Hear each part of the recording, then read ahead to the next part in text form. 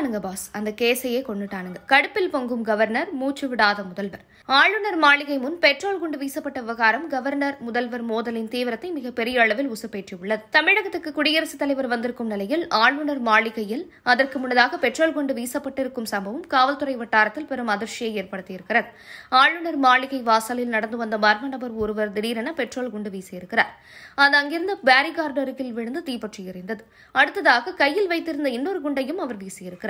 இதை பார்த்து அங்கு பணியில் இருந்த போலீசார் இந்த நபரை மடக்கி பிடித்தனர். ஆனால் குற்றவாளி தப்பித்து ஓடிவிட்டதாக ஆளுநர் மாளிகை முதலில் கூறியிருந்தது. விசாரணையில் பெட்ரோல் குண்டு வீசியது பிரபல ரவுடி கருக்கா வினோத் என்பது தெரியவந்தது.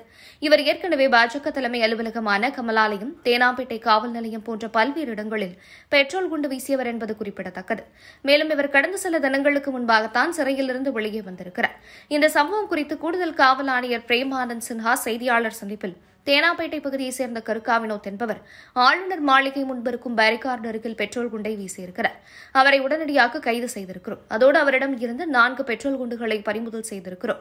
பெட்ரோல் குண்டு வீசும்போது கருக்காவினோத் குடிபோதையில் இருந்திருக்கிறார். கைது செய்யப்பட்டவரிடம் விசாரணை நடைபெற்று வருகிறது. அவர் மீது ஏழு குற்ற வழக்குகள் இருக்கின்றன.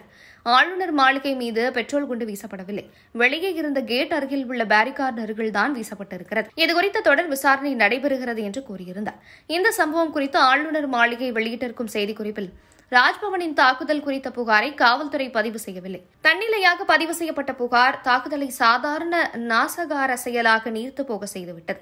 அவசரகதியில் கைது மேற்கொள்ளப்பட்டு மாஜிஸ்ட்ரேட்டை நள்ளிரவில் எழுப்பி குற்றம் சாட்டப்பட்டவர் சிறையில் அடைக்கப்பட்டு விட்டதால் பின்னணியில் உள்ளவர்களை அம்பலப்படுத்தக்கூடிய விரிவான விசாரணை தவிர்க்கப்பட்டிருக்கிறது. நியாயமான விசாரணை தொடங்கும் முன்பே அது கொல்லப்படுகிறது என்று சொல்லப்பட்டிருக்கிறது. இந்நிலையில் இந்த விவகாரம் குறித்து பேசும் காவல்துறை முக்கிய அதிகாரிகள் கருக்கா வினோத்தை பொறுத்தவரை இதுவரை பாஜக அலுவலகம் காவல் நிலையம் டாஸ் டாஸ்மாக் என்று பல்வேறு இடங்களில் பெட்ரோல் குண்டு வீசியிருக்கிறார். கடந்த இருபத்தி ஒன்றாம் தேதிதான் ஜாமீனில் சிறையிலிருந்து வெளியே வந்திருக்கிறார். வெளியில் வந்த பிறகு யாரை சந்தித்து பேசினார் செல்போனில் யாருடன் பேசினார் என்ற அனைத்து தகவல்களையும் எடுத்துவிட்டோம். எங்களுக்கு பல்வேறு தகவல்கள் கிடைத்திருக்கின்றன. வழக்கு விசாரணை தொடர்பான அனைத்து விவரங்களையும் ஐபிக்கு கொடுத்திருக்கிறோம். கைது செய்யப்பட்ட நபர் மீது வழக்கு பதிவு செய்திருக்கிறோம். எதற்கு பெட்ரோல் குண்டு வீசினா என்று அவனிடம் கேட்டபோது சிறையிலிருந்து என்னை விடுதலை செய்ய ஆளுநர் ஒப்புதல் வழங்கவில்லை. அதேபோல நீட் தேர்வுக்கு ஒப்புதல் வழங்கவில்லை என்று குடிபோதையில் உளறியிருக்கிறார் இதில் காவல்துறை கோட்டை விட்டது என்று சொல்ல முடியாது. நடந்த சம்பவம் குறித்து ஆளுநரை நேரடியாக சந்தித்து கமிஷனரும் உரிய விளக்கம் கொடுத்திருக்கிறார் என்கிறார்கள். ஆனாலும் ஏற்கனவே ஆளுநர் தரப்புக்கும் முதல்வர் தரப்புக்கும் இடையில் கடும் யுத்தம் நடந்து கொண்டிருக்கும் நிலையிலும் இந்தியாவின் குடியரசுத் தலைவரை ஆளுநர் மாளிகைக்கு வருவதற்கு சற்று முன்னும் இப்படி நடந்திருப்பதால் இந்த விவகாரம் இப்போதைக்கு அடங்காது என்பது உறுதி.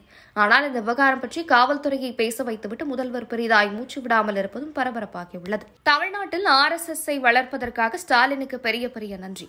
ஆந்தி வெயில் அடிச்சு தூக்கும் அண்ணாமலை. திமுக அரசை நிம்மதியாக பொழப்பை பார்க்கவே விடமாட்டார்